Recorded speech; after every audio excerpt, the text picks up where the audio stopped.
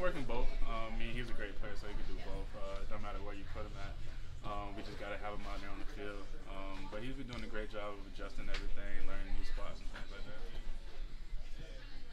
What's what's Jonathan brought to to this squad that you've seen early on? Um, I'm just another competitor in our secondary. Uh, a guy that knows football very well, a guy that loves football. Um, he does a great job of asking questions as well, um, trying to learn things and things like that. Um, so he's been doing a great job. He's excited to be here. Um, you know, we have talks and things like that. Now we finally get to play with each other.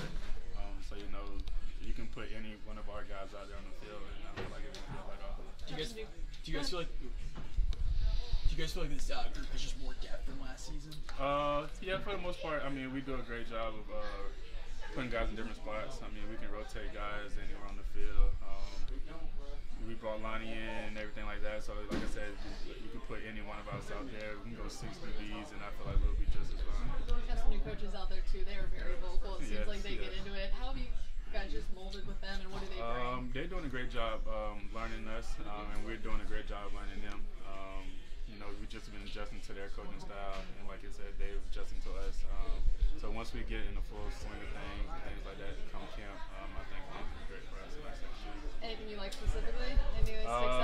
I mean, just yeah, it's just a uh, a new teacher, um, learn new things, things like that. Uh, they're very detailed on, on, on their alignments and things like that, and they continue to preach to get the ball, be technical sound, and let our abilities go